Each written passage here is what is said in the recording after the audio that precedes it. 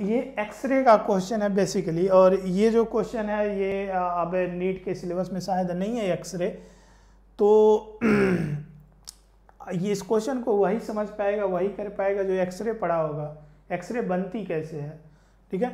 तो observe intensity of X-ray emitted in the fraction of wavelength इस पर अब देखो, जब भी एक्सरे बनाया जाता है यार तो एक्सरे दो टाइप की होती है. एक होती है कंटिन्यूस एक्सरे एक होती है कंटिन्यूस एक्सरे और एक होती है discrete characteristics X-ray character characteristics characteristics X-ray ठीक है?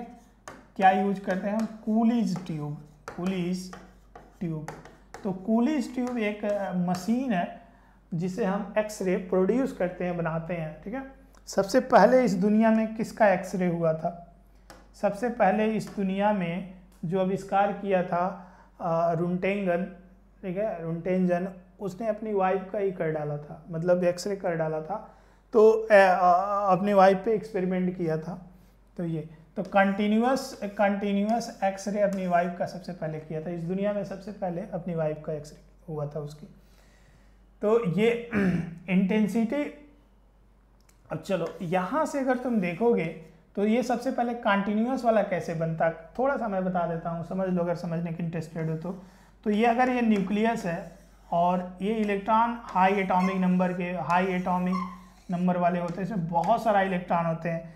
कंटिन्यूस एक्सरे तब बनता है जब हम हाई वेलोसिटी से इलेक्ट्रॉन हाई वेलोसिटी से जो है, वो इलेक्ट्रॉन को हाई वेलोसिटी इलेक्ट्रॉन से जो इलेक्ट्रॉन्स होते हैं, उनके पास बहुत ज़्यादा वेलोसिटी होता है। और उसे जब कोलिजन कराते हैं और इस कोलिजन में ये इलेक्ट्रॉन जाके किसी दूसरे इलेक्ट्रॉन से कोलिजन नहीं करता है बट इस न्यूक्लियस की वजह से उसकी स्पीड कम हो जाती है।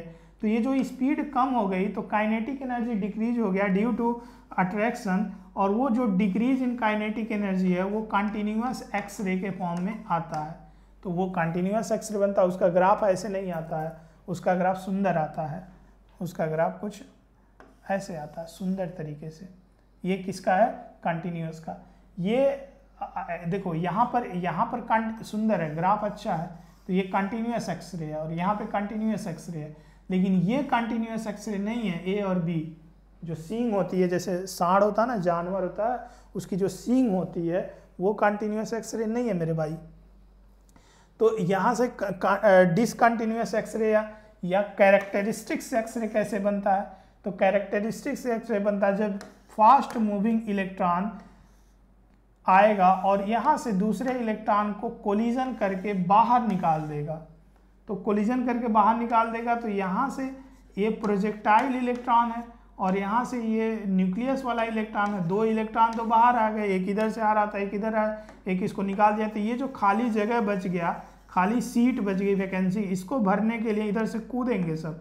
इलेक्ट्रॉन कूदेंगे और उस जंपिंग में डी एक्साइटेशन में जो एनर्जी बाहर आएगी, वो कैरेक्टरिस्टिक से होती है और उसकी ग्राफ कुछ ऐसी सींग टाइप आती है सींग की टाइप आती है ऐसा कुछ और वही कैरेक्टरिस्टिक्स रेडिएशंस होता है, ठीक है?